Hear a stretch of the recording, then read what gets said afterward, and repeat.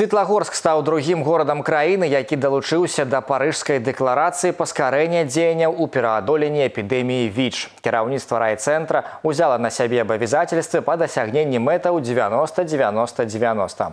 Гэтую стратэгію ў Беларусі плануюць рэалізаваць да 2020 года ўключна. Ход дзеянняў сёння абмяркоўвалі ў гомелі на прэс-канферэнцыі з прадстаўнікамі зацікаўленых службаў і ведомстваў з падрабязнасцямі. Яўгенія Кухаронак.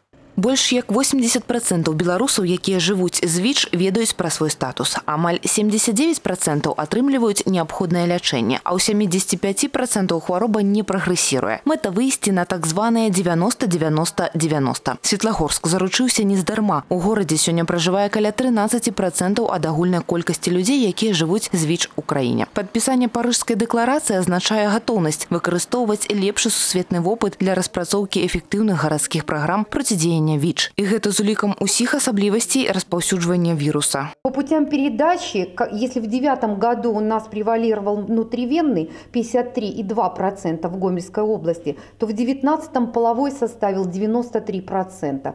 Мы отличаемся немножко от Минска, мы там где-то и поспорили, потому что в Минске где-то 50 на 50, но у нас конкретно половой путь инфицирования. Паводле афіцыйных дадзеных у гомельскай вобласці 8233 чалавекі жывуць з ВІЧ. Больш як палова з іх гэта людзі ва ўзросце 40 гадоў і старэйшыя. Лячэнне праходзіць каля 80%. Астатніх цяжка пераканаць менавіта з-за іх узросту, а гэта прыкладна тысяча чалавек. З тымі, хто уяўляе рэальную небяспеку для грамадства, працуюць праваахоўнікі. Сотрудникам органов Тринидя в текущем году было проведено более, чуть более 100 проверок по выявленным новым фактам заражения ВИЧ-инфекции и по выставления в опасность заражения ВИЧ-инфекцией в том числе.